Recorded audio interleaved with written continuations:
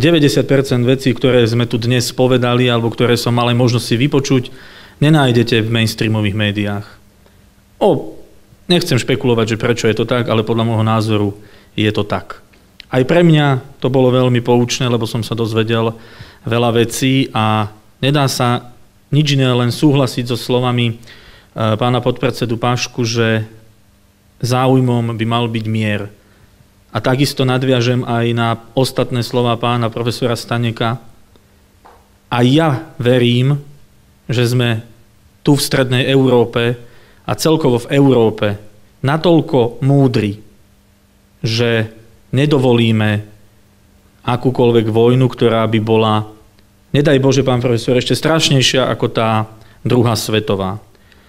A Verím tomu aj preto, alebo túto moju vieru umocňuje aj to, že národy Európy, západnej, strednej, ale aj východnej, dve svetové vojny zažili na vlastnej koži, aj keď ja nepatrím ku generácii, ktorá zažila druhú svetovú vojnu, ale v každej obci určite nájdete ľudí, ktorí si ju živo pamätajú.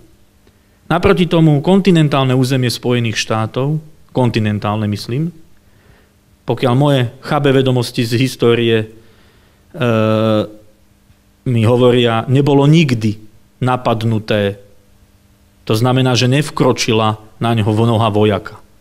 Eviduje sa nejaká ozbrojená skupina, niekedy v 1800 nejakom, čo som čítal ako pikošku, nejakých 40 ozbrojených Mexičanov. A toto je ale jediné zdokumentované napadnutie kontinentálneho územia Spojených štátov. Takže chcem veriť, že situácia sa bude postupne upokojovať a budeme mať možnosť, vy, my všetci, moja generácia a generácie ďalšie, ktoré po nás prídu, žiť v miery a treba preto urobiť maximum na každej úrovni. Ale obávam sa, že to, tak ako všetko v živote, nebude vôbec jednoduché. Ale želám vám, Slovenskej republike, veľa úspechov a nám, ak chcete, aj keď ja to slovo nemám rád, politikom, to, čo povedal pán profesor Stanek, a to si aj dnes odnesiem, aby zvíťazil rozum nad emóciami.